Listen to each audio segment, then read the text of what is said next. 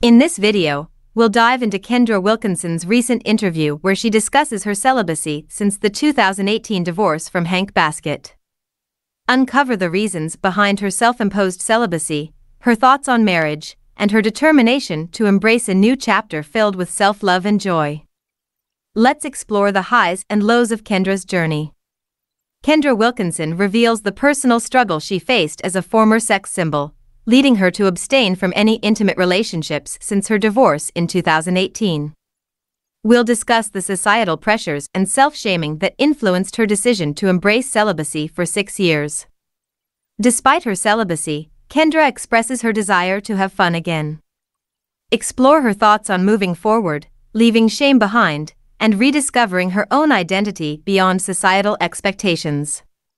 What does this new chapter hold for Kendra, and how is she navigating the complexities of dating post divorce?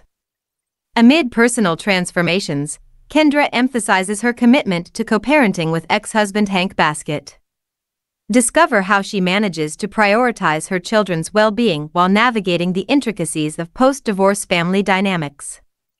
Kendra's attitude towards her ex husband is one of forgiveness and understanding. We'll explore her perspective on love, forgiveness, and the evolution of her relationship with Hank Baskett. How does she see him today, and what role does he play in her life as a co parent? Delve into Kendra's challenging mental health crisis last year, as she opens up about hitting rock bottom and her journey to recovery. Learn about the strength she found within herself and the steps she's taking to embrace and work with her mental health. As we conclude this exploration into Kendra Wilkinson's candid confessions, share your thoughts in the comments below. What aspects of Kendra's journey resonate with you? Don't forget to like, subscribe, and hit the notification bell for more inspiring stories from the world of celebrities and personal growth.